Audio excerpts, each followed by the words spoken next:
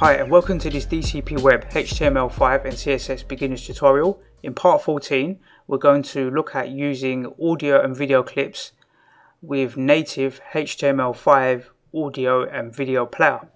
So let's go ahead and open up Google Chrome and in Google Chrome I'm going to type in sample mp4 file. We want a sample video to play and I'm going to click on this one right here and what I'll do is click on this mp4 download and I'll put a link in my YouTube description where you can download this file. So I'll click here pause this video click here and click download. And we'll drag and drop this to our desktop so we've got the file here. And now we need some audio.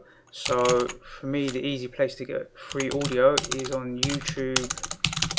Free audio. You can go to audio library here. You need to be logged into your um, YouTube account to download files. So make sure you've got a YouTube account. Um, and then you can download these files. We'll go to genre and we'll pick something like uh, classical. Maybe not classical, let's do hip hop. And uh, we'll just download this Brooklyn one, right? And we drag and drop the MP3 file here. So we can close the browser for the moment. Now with the mp3 file, I just want to rename it to audio. And with the video one, I just want to rename it to video. So got, it's called video.mp4 and audio.mp3. I'm going to open up the folder and I want to create a new folder. Let's create a new folder called assets. And inside this assets folder, I want to create a subfolder and that one's going to be called audio. And we'll create another folder called video. And let's in fact create a third one right? We could have like PDF in here for example. So we can have different subfolders in here. The PDF one we won't use at the moment. Maybe in later tutorials I'll show you how to connect directly to a PDF file can have a look at that maybe in a future tutorial. But here's some you know the reason why I've created this assets folder is I just don't want all files to be stored on what we call the root directory. So we call, consider this to be the top location. Think of it that way and it's called the root directory. And inside your root directory you really want to keep it nice and clean. You don't want to just dump all your files into one one folder and then upload it to the server when you start running your website. You want to keep everything in a structure, so all, all, images will go here. In assets, you've got subfolders, so all audio will go in here and all video will go here. So later, when it comes to updating or changing something on your website, you're going to know if you need to change uh, an audio clip or a video clip or upload a new PDF file, it'll be very easy for you to find a location where to put that. It'll also make your code easier to read because you've got references in the folders as to what you're looking at. So we'll go to the audio folder and we'll right click on the audio clip, holding down the mouse button with the right mouse button and we'll move it here. And then we'll go to the video folder and we'll right click and hold down the mouse button and we'll move it here. Okay, so the next thing we want to do is go back to the root directory and we'll open up Google Chrome. We'll drag that to the left and we'll drag and drop our index file into here so we can see our code. And we'll just open up notepad++ and here we can see the website here what we've written and here's all the code. So the last thing we did is we created uh, what did we do? Let's have a look. We did these iframes right? So we had the video here we had this internal page and then we used YouTube iframe. So we showed a few different examples of iframe. And underneath this HR here, I want to create another one. Let's just save this and we're going to put our players in between these two horizontal lines here. So let's have a go at putting some audio. So with HTML5, like I mentioned before, a lot of the things, a lot of the tags that you use would make a lot of sense, right? So if we want audio, we're going to create an audio tag and every tag that we create in most cases we need to create a closing audio tag like this. And with the audio tag or the audio player we need to give it a location to where this uh, mp3 file is located. So we're going to open and close tag and we want to say in here the source the source where is that located? So the source is located in a folder called assets, right? In a subfolder called audio. And inside that subfolder, we called it audio.mp3 see so you can know now you see why naming things correctly will help you to find the location I didn't even have to we, we'll double check this actually to make sure it's correct so let's do that but if you name things especially when you work on a lot of different projects if you're building websites for lots of different clients and um, you know you want to um, have structure then we know that all of our audios are always going to be in this assets folder. So we go into assets and we've got audio and it was called audio.mp3. So there it is. And we just need to tell the browser what type of file it's going to be and it's going to be an audio clip and it will be an MPEG file. And that's it. So there's a few other things we need to do. If we save this and refresh, nothing's going to happen, right? nothing's happening because we need to tell the audio that it requires some controls to control the audio clip. Now when we refresh, here we've got our audio player, we can click play.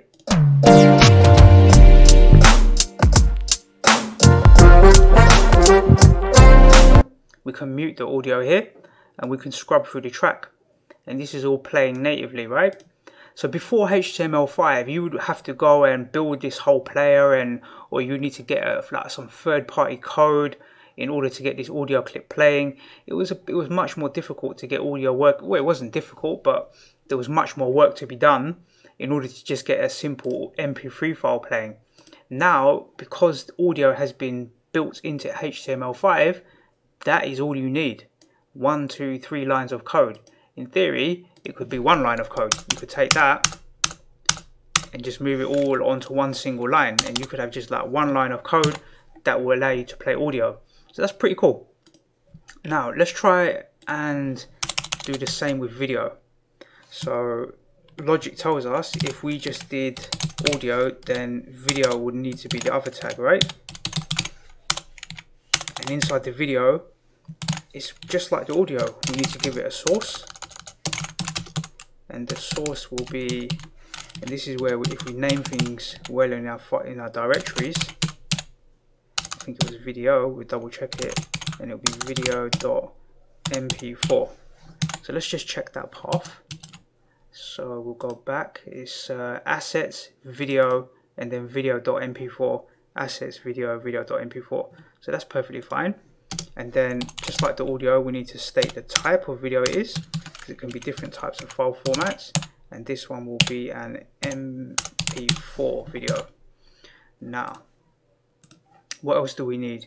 We need to give the video some controls right? So the user can play and stop and do things with this video clip. And the video we can actually set the width and height. So let's set the width to something like 400 maybe and then the height we'll set it to 240 and let's save it and we'll refresh. Now we've got that video clip playing. We can click play. We can mute it. We can make it go full screen. We can scrub through the video backwards and forwards and we can even do something called picture in picture. So we can minimize all of this. We've got the video clip playing right here so we can do picture in picture natively using HTML5 which is pretty cool. So we'll pause that and um, we'll go back to here. And there's a little X here to close it, right? And when we close it, it will move the video back into here. We can continue to play it. We can mute it while it's working, playing. Um, and all of that, so these two assets, or these two tools here, the video and audio player, if we uh, look at our code, you can see they're very simple, right? It used to take a bit of work to get this working uh, before. We used to have used to third-party tools to play the video, third-party tools to play the audio. Now, a couple of tips for you, right? Although um, we can easily play the video and the audio clip straight in our web browser, my advice to you is to upload your videos to YouTube. So why would I? Why would you do that? Number one, you're going to get much more exposure in YouTube. If so, I make a lot of videos, right? So if we go to this uh, this page here, my YouTube page, and we click on videos, you can see all these different video clips that I've done. Now I could just load them straight from from my server, like we're doing right now, straight into the into the page. But then I'll be paying for all of those streaming costs. So I need a pretty good server because imagine if 50 people or, or 100 people want to look at my videos all at the same time, then it takes a lot of bandwidth to send that content across the internet. You know, I've got videos up here at 165,000 views. Some of them are close to a quarter of a million. And you got to consider that when you're streaming a lot of content. Some of my videos get a lot of views. So I just I choose to upload my videos to YouTube, but it's worth knowing that these audio and video control players are available, right? So it's worth knowing and how knowing how to use them. I'm not saying don't use them. Um, I'm saying that if you want to get maximum exposure to your video clips, then YouTube is probably the best place to do that. Now, when it comes to audio, um, there's another website, right? It's called SoundCloud. And SoundCloud is almost like YouTube but for audio instead. So SoundCloud is very popular if you want to upload just audio tracks. So if you're doing like a podcast and you want to upload that audio track, then you can upload it to SoundCloud and then you can embed that um, that content in a similar way that we did the iframe here for YouTube. So SoundCloud will give you an equivalent of that for uh, audio. In fact, uh, let's try and see if we can get one to work. So let's click here. Maybe we can do one off of one of these. I don't know. Maybe I've got a. Don't know if it will let me. Uh, probably be a bit of work to try and get this. Uh, let's see. So we'll try and embed this, right? Let's try there is a I haven't done this for a while. There should normally be like a share option or something here, but I think you may need to be logged in to share, or some of these things you just can't share. But I'm pretty sure. Oh, here we go, share, embed. This is the iframe code. We'll copy this. This is an example of an audio clip, right? Then we can go back to our page here and we'll put this audio clip just above this uh, YouTube one or below it should I say now we've got this iframe here it's 100 wide 300 high and it's an audio player we press refresh now we've got the audio clip in here from SoundCloud that's just audio. Although it looks a bit like a video player it's really just playing audio. So we could set the height to something like uh, let's say 100 and then the width to something like 400 and then it will look more like an audio player. So that's how you can just and you, we could have uploaded that to SoundCloud right? So this SoundCloud is an equivalent of this audio player here and this YouTube is equivalent of this video player here but you should know that you can stream them from third party where you're going to save some cost in terms of streaming large amounts of content um, opposed to using localized versions, right? So if you was running something like an intranet for your company, and the company had a login and password where where your your um, where your staff could log in or log into an intranet place, then you may want to share video content and audio content that only they can listen to. Then you know that the number of people that are going to be listening to it is going to be minimal, and then you can maybe use these tools. Or if you don't want to have your content exposed to the internet, fully because anyone on YouTube or SoundCloud can listen to this stuff or embed it, then you could use these native controls. So there's a couple of different options there.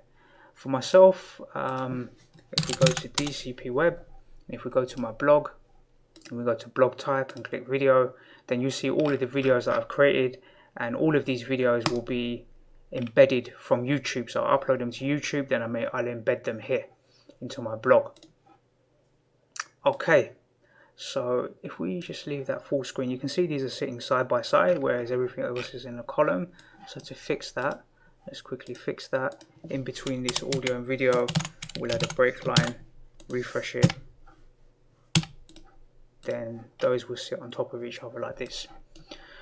So I hope you find that useful. That's probably, you know, most of the HTML5 stuff that we're going to go through. So you'll be glad to hear that we're not really going to be doing too many more HTML5 things. Uh, we're going to probably do one little overview um, in the next tutorial and then we're going to move over to CSS and that's where all the fun really starts right CSS will allow us to take all of this content that we've created and lay it out exactly how we want to lay it out and manipulate the information on the page so the colors and the styles and the formatting. We can do a lot of things with CSS we can manipulate a lot of things here on this page to make it look more presentable. So maybe we'll look at that some basic CSS um, in the near future tutorials. So let's close this let's close this. I hope you understand that and I look forward to seeing you on the next DCP web tutorial